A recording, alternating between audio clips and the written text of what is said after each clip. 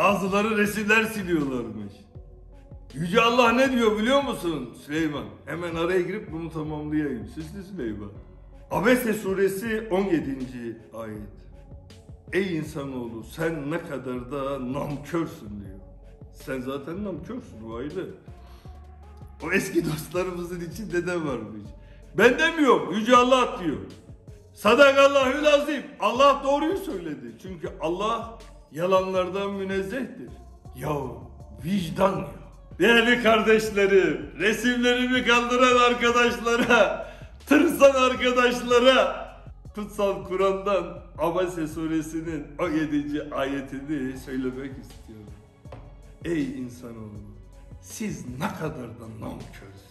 Siz bunu yaparken ben halen daha burada kendimi yakma bahsına sizi korumaya çalışıyorum. Herkes anasından emdiği süte layık davranır.